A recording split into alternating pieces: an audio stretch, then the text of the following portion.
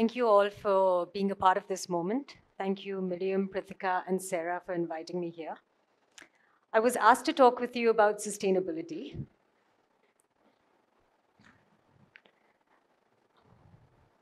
And I live on a farm, so excuse me for being extremely conscious that there's a lot of light facing me and a black audience that I'm speaking into.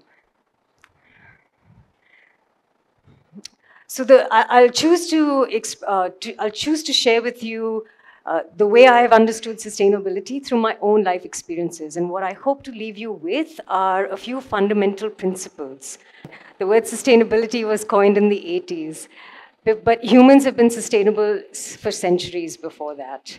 The difference between then and now was the, the development, the, the discovery of fossil fuels, and um, really a, a shift from a resource-based economy to a cash-based economy. What's also changed is our own need and our own definitions of quality of life. Um, so through the examples I'd like to illustrate that, um, through, through, the examples I'd like to illustrate some uh, some ideas that will hopefully help you to be able to define your own set of needs and uh, sort of reassess how we how we create what we define as the quality of our life. I, I grew up in Bombay. I went to school in Fort Convent. I um, studied in the U.S. Uh, environmental studies in Mount Holyoke College, and thereafter worked with the US EPA analyzing toxic emissions to air, water, and land. Um, I came back to India to discover myself and to really understand my space with the, my role in this big play called life. I live now on a farm with, uh, which is, I've been living in a farm in rural India for about 11 years. Um, and I work with tri a tribal community. The farm is self-sustained. We, we, uh, we grow uh, we earn our own income, and the farm supports a tribal community of 10 people who, in return, support the farm in terms of work. When I came back from the US, I felt really full of myself. And I remember sitting on the farm, uh, ready to believe that I had a lot to teach the, the tribal community I lived with. On a hot summer's day, when there's not much land work to do, Mommy and I were sitting on the veranda. Mommy is the eldest lady in our team. And I thought I'd teach her how to, how to sign her name. Um, she'd need it in banking for sure. So I, I, I give mommy the pencil and I see her mommy who's a beast in the forest and you put a sickle in her hand and she can take on the whole forest alone. I give her the pencil and she can't grasp, she can't hold the pencil. Trying after a few minutes, she throws the pencil down, says this is a mess and walks away. A little frustrated that mommy didn't want to learn I, I, felt she was a bit close to, to a new experience. Um, I thought there's not, I, I, I, just felt frustrated by this. Uh, about a month later, mommy's walking by. She pauses, she looks at the sky, and she says, Now the rains will come. And suddenly I realized I, I didn't have that much to teach them. Actually, I didn't know how to tell rain. I didn't know how to douse a wildfire. I didn't know how to grow my own food. I didn't know much, much, much of my own nature. So the first principle I'd like to share with you on sustainability is something that the cows on the land taught me, and that is really interdependence. Uh, being a non-dairy farm, I thought a lot about bringing a cow onto the farm. It's, uh, it takes resources to manage a, a cow and you know we're not really into milk production. But we invited the cow all the same. On a farm, managing wild grass is pretty time eh, eh, resource intensive. You de-weed or you brush cut the, the wild grass, and a brush cutter uses diesel and petrol. What I learned by observing the cows is that the cows munch on the wild grass. Um, as they munch on the wild grass, where they munch on the grass, the grass is actually stimulated by the saliva and the munching of the cow and reproduces much stronger, thus retaining its own space in nature. And the cow, in fact, uh, is fertilizing the, the wild grass that it munches on, thus ensuring its own, its own food for tomorrow. The farm is, the, the cow gives me urine, which contains urea, which is a key input in farming. And a cow-less farm needs to purchase this uh, synthesized urea.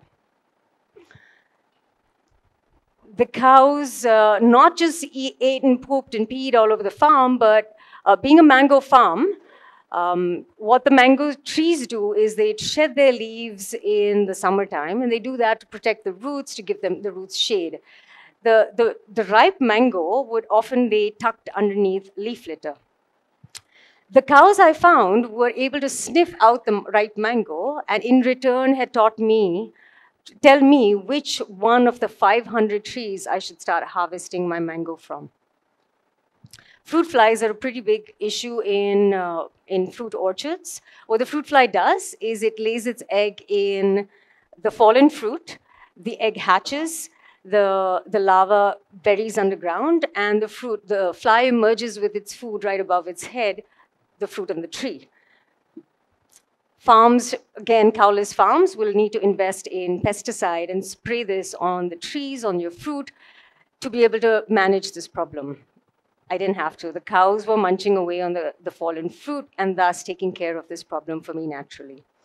You'll see a lot of vacant spaces on the land if you visited our farm. And uh, at for, of course, I could occupy these vacant spaces with cash crops and increase the financial income of the farm. But what I learned through observation was that the cows were actually um, eating, I mean, what the wild, what the wild grass that these vacant spaces held was this nutritionally diverse platter of food for the cows. And what this allowed me is, um, and, and of course, by virtue of having the food for the cows, I didn't have to bring in outside inputs. If I farmed on these spaces to increase my income, I would now interrupt the, the cycle of nature. Uh, John Muir really beautifully summarizes this, uh, this story I've shared uh, he, he, says, if you pull on, if you tug on a single string in nature, you'll find it hitched to the entire universe. Just like me in the farm, uh, uh, uh just like the cows and their place in a, uh, their, me questioning the place of a cow in a dairy farm, in a non-dairy farm, we could question the place of trees in a concrete jungle. And here I'd like to take the example of my own father, Mr. Anil Bhatia. My father worked in a factory uh, pretty far from the city, and he spent about three to four hours commuting. He, uh, in his spare time, he started to craft um, a garden in, in the lane. It's pretty hard to find soil in Bombay, so what he did was collect bagasse, which is the waste product of sugarcane, uh, bring that in. He visited gardens in the monsoon and brought in, introduced earthworms. He trained the residents of our lane uh, with the ideas of separating garbage at so separating wet waste at source, which is in the kitchens. Green bins were kept in the in the build in the compounds of each of the buildings, and residents started to bring their wet waste to these green bins. The, the waste was chopped weekly and mixed in with the bagasse and earthworms. So robust was became this program that uh, D Road started to absorb the wet waste of three hotels right next door, Intercontinental, Marine Plaza, and the Oberoi. And they did this for 15 years. Um, it's a beautiful example. He went on further to tie up with the drug and rehab uh, facility in Bombay called Sankalp. And when drug inmates were ready to reassimilate back into society, they were invited to the, uh, to, the, to the lane and trained with my father in these practices. Many of them returned to their villages with a deep knowledge and experience in creating soil, in composting, and in organic farming. It's a simple, uh, it's a beautiful way that a simple idea addressed multiple problems and uh, created, you know, the, the lane ultimately created a third of waste that it was creating just before. Uh, the, the residents, all of this cost rupee, uh, 50 paisa per family per day. The lane was a good two to three degrees cooler than its neighboring lanes. And um, the biodiversity that it hosted was, was beautiful. The second idea I'd like to, the second fundamental principle I'd like to leave you with is that time, space, and quantity is important, especially, especially when we talk about a shared resource. So going back to my, my life on the farm, uh, the, I live with an Adivasi community, and come monsoon, they, uh, a species called kauri, Chlorophytum tuberosum, it, it's the first green species to, to come up from the forest floor. Despite the monsoons coming after a long dry spell when it's really hard to naturally grow greens, the tribal community does not harvest this, this, uh, this plant immediately. Um, the, the story of kauri is uh, linked on face value with the story of rice.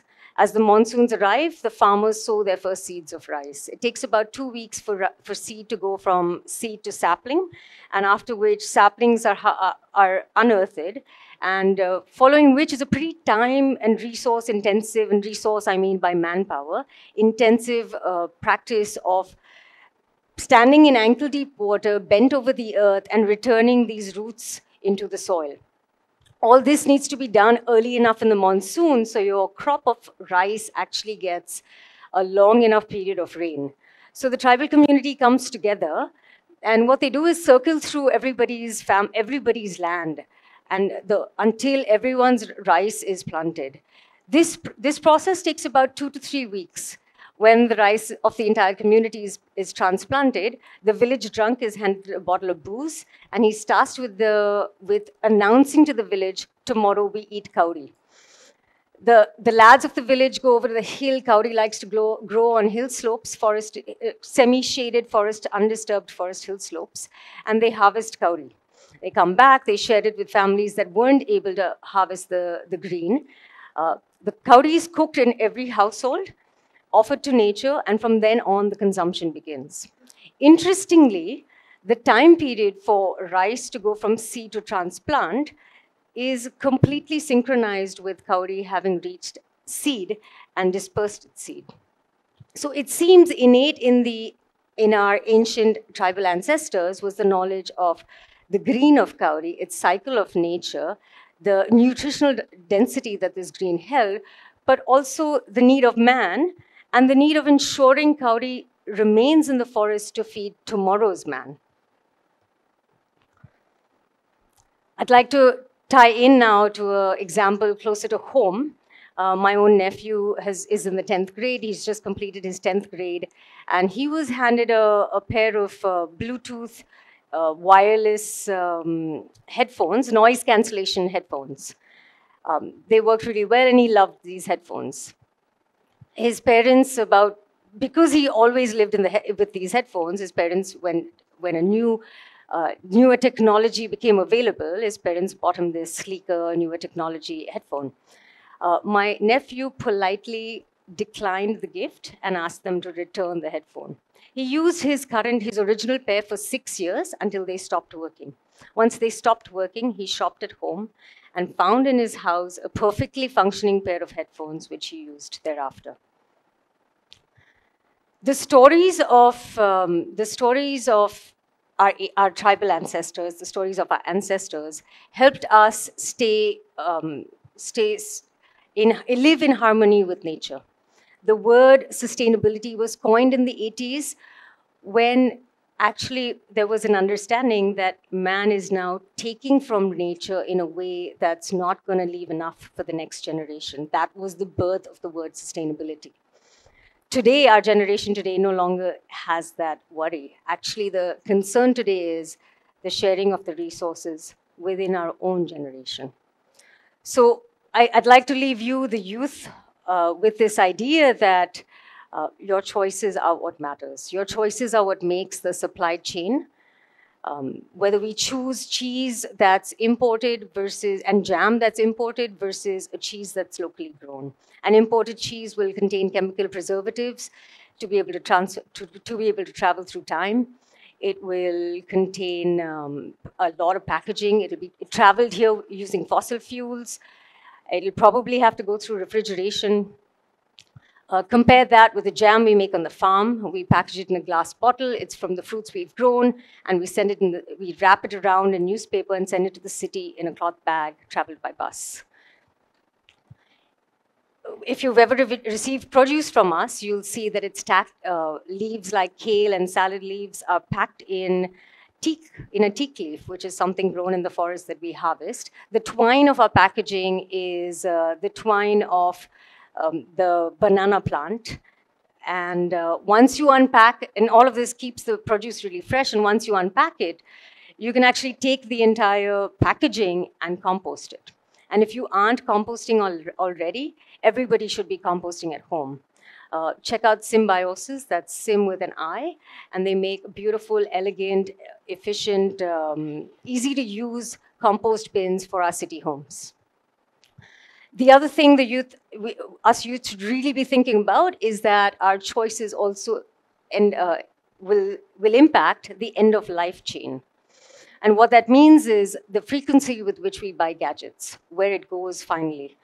Uh, the, the material used in these gadgets, there's a lot of plastic ending up in our landfills, both in the products as well as in the packaging of the products.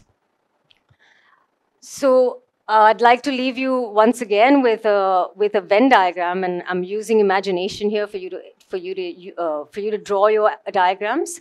Uh, there's three circles. One circle is economic growth, the other circle is environment, and the third circle is social well being.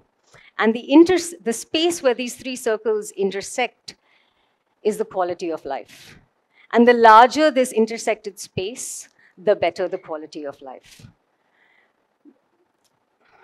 Me personally on the farm, I am continuously challenging my own definition of and deconstructing my own definition of needs and um, uh, I guess I'm continuously being made aware and deepening the idea that you cannot adopt a piece without adopting the whole. Thank you.